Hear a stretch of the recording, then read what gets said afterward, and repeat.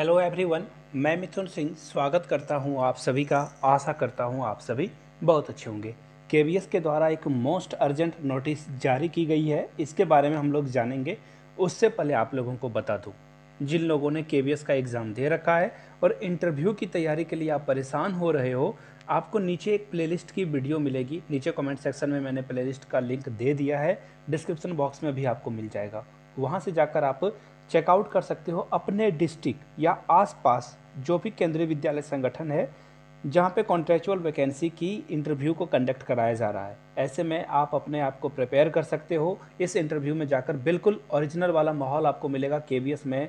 जाकर आठ नौ के जो पैनल हैं आठ नौ व्यक्ति को व्यक्ति के पैनल के सामने अपने आप को इंटरव्यू देना, ये बड़ी बात होती है। आपका फेयर खत्म होगा एजिटेशन और कंसंट्रेशन फोकस सब कुछ बढ़ेगा आपका अगर आप इंटरव्यू में पार्टिसिपेट करते हो।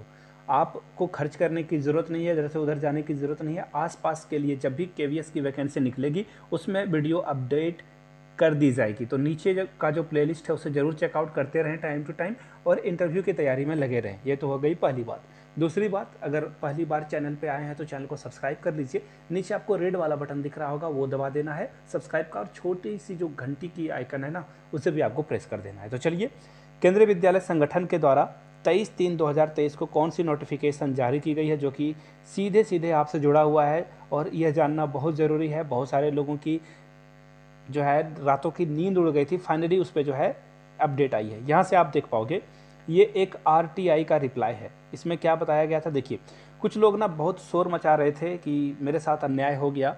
बहुत सारे लोगों का ये डाउट था कि रिमझिम वाले बुक से चार से पाँच क्वेश्चन हर शिफ्ट में पूछे गए थे। पहले ये नहीं पूछा जा रहा था, आखिरी समय के कुछ शिफ्टों में ये प्रश्न पूछे गए थे।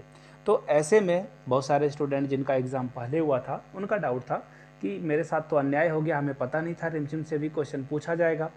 जिनका एग्ज़ाम पहले हो चुका था, उनके साथ तो बुरा हो गया। तो ऐसे में ऐसे में आपको क्या करना है?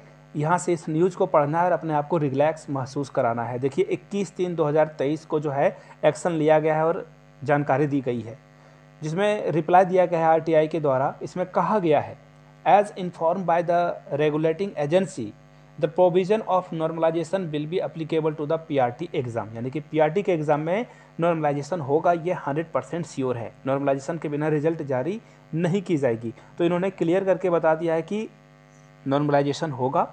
ऐसे में आपको टेंशन लेने की ज़रूरत नहीं है। अगर किसी शिफ्ट में पेपर डिफ़िकल्टी लेवल ज़्यादा रही होगी तो डेफिनेटली उसका जो है कट ऑफ़ आपको जो है भरपाई की जाएगी। नॉर्मलाइजेशन का यही मतलब होता है मोटा माटी सीधे तौर पर कि अगर आपका किसी सब्जेक्ट में या किसी एक शिफ्ट में आपका पेपर ख़राब गया है दूसरे वाला का ईजी था, उनका एग्ज़ाम अच्छा चला गया तो नॉर्मलाइजेशन होगा।